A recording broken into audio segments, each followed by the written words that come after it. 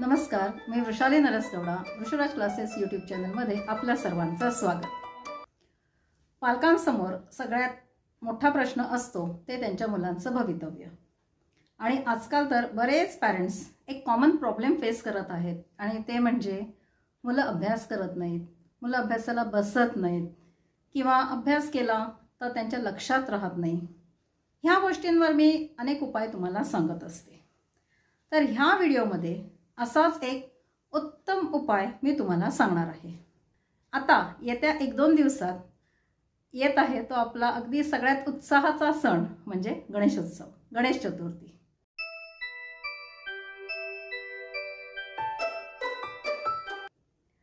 आपण गणेश चतुर्थीची बरीच तयारी करत आहोत.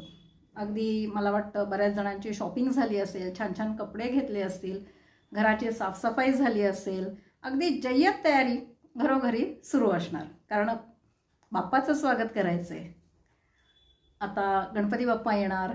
आपल्या घरी दीड दिवस पाच दिवस अकरा दिवस असं राहणार. म्हणजे त्याच्यासाठी आपण भरपूर तयारी करतो. अनेक पक्वांना घरात बनवतो. बाप्पाच्या आवडीचा पदार्थ मोदक घरोघरी बनतो. तर अशा अनेक गोष्टी घरोघरी आपल्याला पाहायला मिळतात. तर मग ह्याच अकरा दिवसाचा उपयोग आपण मुलांसाठी करून घेऊ शकतो.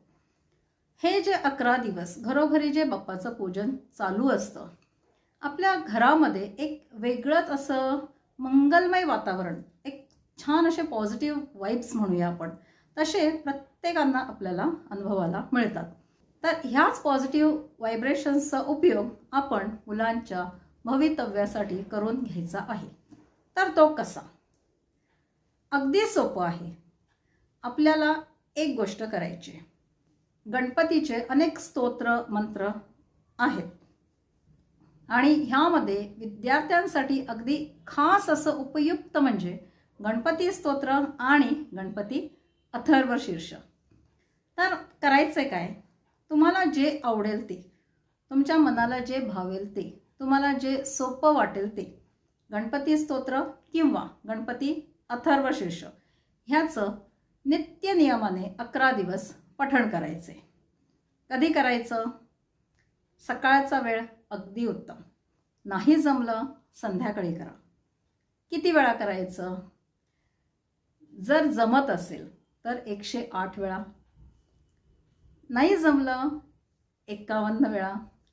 ठीक आहे तेही नाही जमलं एकवीस वेळा. एकवीस वेळा पण फार वाटते बरं ठीक आहे अकरा वेळा. अकराही नाही जमत असेल तर सात वेळा पाच वेळा. बरं. अगदी नाहीच तुम्हाला जमत असेल तर एकदा एकदा तरी हे गणपती स्तोत्र किंवा गणपती अथर्व शीर्ष अकरा दिवस नित्य नियमाने न चुकता तुम्हाला म्हणायचे. मी एक व्हिडिओ केलेला प्रज्ञाविवर्धन स्तोत्राचा. त्याच्यामध्ये ह्या टेक्निकल गोष्टी आपण कशा हँडल करायच्या? ते तुम्हाला त्यामध्ये मी क्लिअर केलेला आहे. तो व्हिडिओ जर तुम्ही पाहिला नसेल तर तोही व्हिडिओ बघा. लिंक मी डिस्क्रिप्शन बॉक्समध्ये दिलेली आहे. म्हणजे जसं मी तुम्हाला सांगितलं की एकशे आठ वेळा एकावन्न वेळा एकवीस वेळा. मग जे एकशे आठ वेळा म्हणणार त्यांना अगदी काहीतरी फार छान रिझल्ट मिळणार का? आम्ही एकदाच म्हटलं तर आम्हाला रिझल्ट नाही मिळणार का? अशा गोष्टींमध्ये अडकू नका. तर असे सगळे डाऊट्स क्लिअर करण्यासाठी तो प्रज्ञाविवर्धन स्तोत्राचा व्हिडिओ नक्की बघा. बरं अकरा दिवस तर झाले. अकरा दिवसानंतर गणपती बाप्पाचं विसर्जन होतं. पण आपण जो हा नियम सुरू केलेला आहे हे अकरा दिवस तुम्ही एक नियम ठरवा की किती वेळा म्हणायचे आणि नियमितपणे अकरा दिवस तो नियम तुम्हाला पाळायचा आहे आणि त्याच्यानंतर नित्य नियमाने एकदा तरी हे स्तोत्र जे तुम्ही सिलेक्ट करतात ते गणपती स्तोत्र किंवा गणपती अथर्व कायमस्वरूपी तुम्हाला म्हणायचे हे फक्त एवढं करा.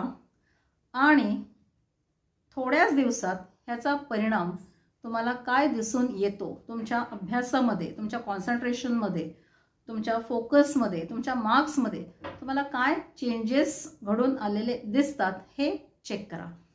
आणि जर तसे तुम्हाला छान परिणाम जर घडून आलेले दिसले तर त्यानंतर आमच्या कमेंट बॉक्समध्ये कमेंट ड्रॉप करायला विसरू नका. तर ह्या अकरा दिवसाचा प्रत्येक विद्यार्थ्यांनी लाभ घ्या.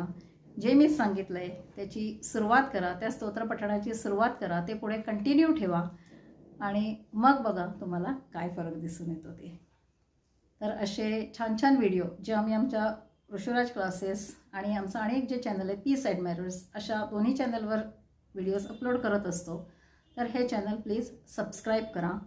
आणि ही जी माहिती मी ह्या व्हिडिओमध्ये दिलेली आहे ती फक्त स्वतःपुरता ठेवू नका.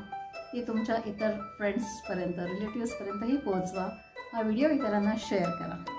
आणि हा व्हिडिओ शेवटपर्यंत पाहिल्याबद्दल तुम्हा सर्वांचे खूप खूप आभार.